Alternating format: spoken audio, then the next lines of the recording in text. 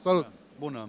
Uh, Ce poți să le spui despre DreamHack, dacă ți-a plăcut, ce nu ți-a plăcut, despre Stan, ce poți să le povestești? Hai să le luăm pe rând. Deci, uh, despre DreamHack, despre DreamHack Cluj, ca și comparație cu DreamHack-urile anterioare, mi s-a părut că evenimentul ia amploare și am găsit oportună schimbarea de locație. Nu pentru că am fi din Cluj, ci pentru că sala permite mult mai multe. M-a impresionat foarte tare uh, sala de la majorul de CS, deci efectiv scena, mă refer, cum a fost amenajată de suedezi, absolut senzațional. Și uh, îmi pare rău pentru cei care nu au venit să vadă, că e o ocazie, bine, nu e unică, doamne ăștia, adică sperăm că o să fie și în anii următori. Și în rest, uh, nu știu, cam asta ar fi marile diferențe. O mai bună organizare, o cea mai mare prezență, dar într-o locație mai mare, deci nu știu dacă s-au simțit la fel de înghesuit. Noi la stand am resimțit pozitiv uh, amploarea spațiului pentru că n-am mai murit de cald din 10 în 10 minute, deci a fost, a fost bine. Da, Și cu Stan nu cum merge, cu Creative Monkeys în general? senzațional. Adică nu știu, pot să...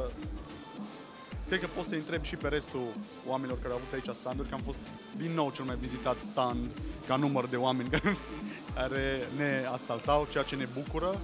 Și uh, și-a mers bine. Am venit și cu niște chestii uh, noi pe bază de merchandising pe care nu le aveam anterior și a fost prima dată când am venit și noi cu un stand ceva mai, să zicem, bine pus la punct, adică nu încropit.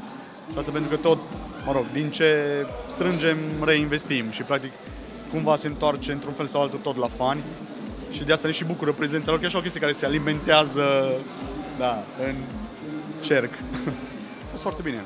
Pe parte de YouTube, pe viitor, ce, Așa. ce proiecte aveți plănuite, dacă aveți niște insider information? Da, așa? sigur. Um, tot cum spuneam anterior, din cauza că tot strângem, să zicem, fonduri și le reinvestim din buzunarul propriu, am făcut o investiție destul de mare anul ăsta. Am investit în aparatură pentru a putea să facem videoclipuri și filme de scurtmetraj la un nivel calitativ ceva mai ridicat față de ce, nu neapărat față de ce făceam noi în trecut, cât față de ce este pe, pe YouTube în momentul ăsta ca și producție de conținut românească.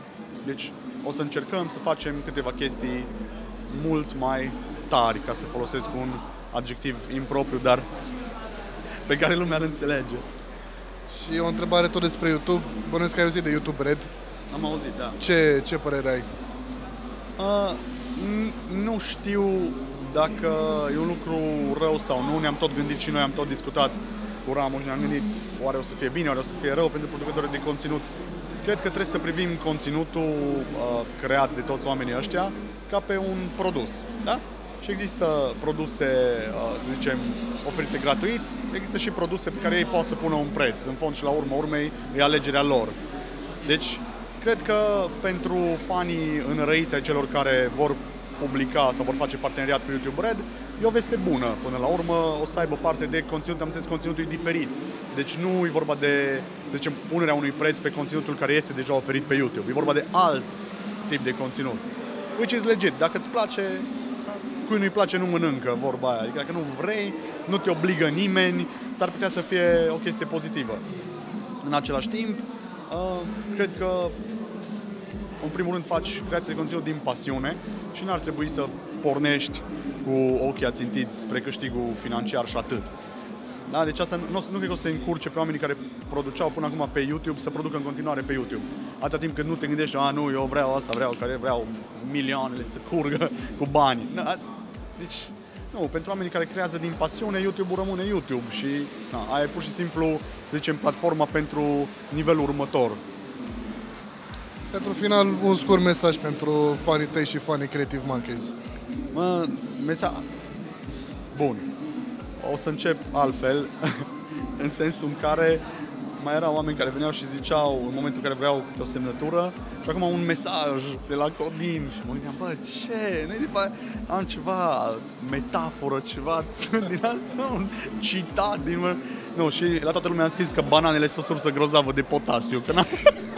Deci n-am avut absolut nimic. Uh, nu știu, don't do drugs, stay in school. Perfect. Habar n-am. Perfect. Mersi mult.